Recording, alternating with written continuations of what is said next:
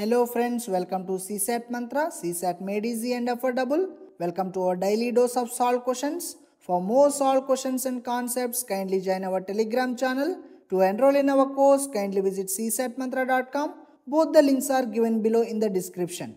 A shopkeeper had 750 kg of rice. He sold a portion of it at a certain profit percentage. The remaining two-fifth part of the whole lot was infested by pests and had to be sold at a loss of 15 percentage. If for the entire 750 kg rice, the shopkeeper had no profit, no loss, then what was the profit percentage at which the first part of the rice was sold?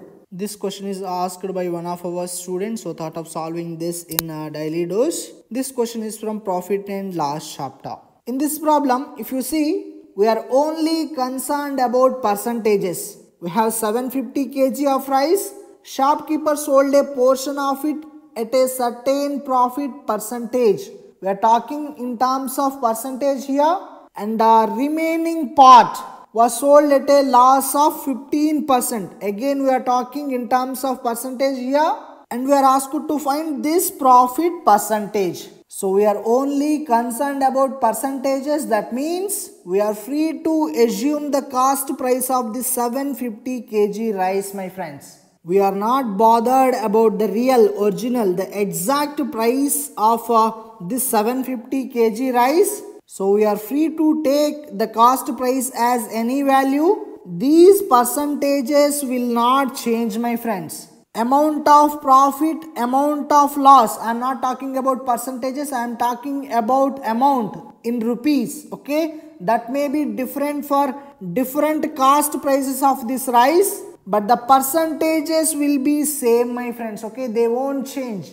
These percentages are independent of this cost price. We have solved many such problems in this chapter. Kindly go through it if we are dealing with only percentages, then we are free to choose any value of this cost price, my friends. Clear, right? Most of the aspirants have this confusion. Cost price is not given, so what to choose, what to choose, what if I choose, you know, 10 rupees per kg, what if I choose 100 rupees per kg, will the values will be different? No, my friends, okay? No matter what you choose, the percentage is going to remain same. Now here it is said that if for the entire 750 kg rice, the shopkeeper had no profit, no loss. So I am assuming the shopkeeper bought 750 kg rice at 750 rupees.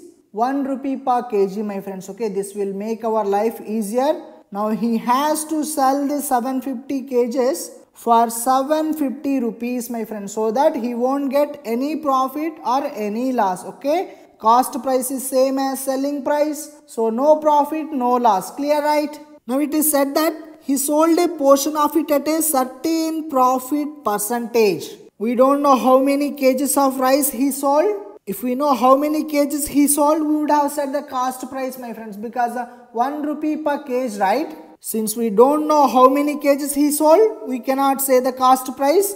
We cannot say the selling price also, my friends, okay? But all we know is he sold that portion at a certain profit percentage. So the formula, only one formula we have in profit and loss chapter, okay?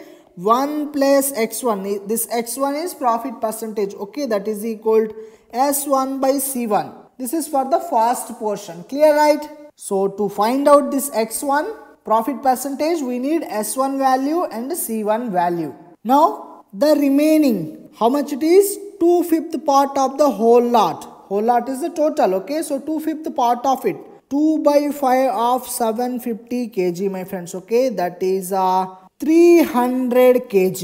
So he sold this 300 kg at a loss of 15 percentage. What is the cost price of this 300 kg? Okay 300 rupees my friends okay? 1 rupee per kg.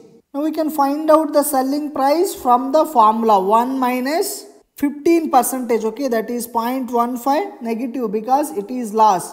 S2 by c2 okay?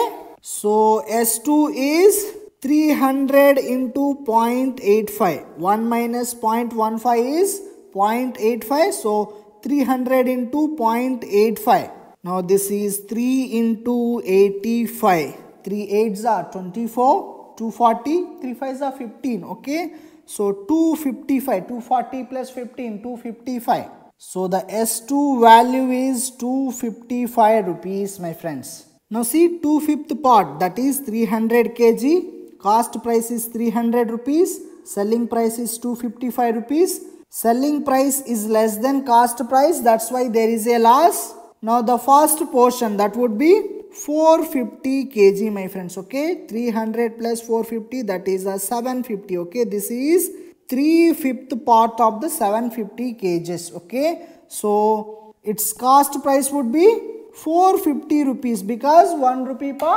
1 kg. Now its selling price would be 495 rupees my friends. Total selling price should match 255 plus 495 that is equal 750 okay? So s1 is basically total minus s2 750 minus 255 that is uh, a 495 now see here weights are matching cost prices and selling prices are matching. Now the profit percentage of this portion okay? 1 plus x1 is equal to s1 by c1 s1 is 495 c1 is 450 so x1 is equal 495 by 450 minus 1. So 495 minus 450 by 450. This is a 45 by 450. 45 ones are 45 tens are. Okay, this is a 0.1.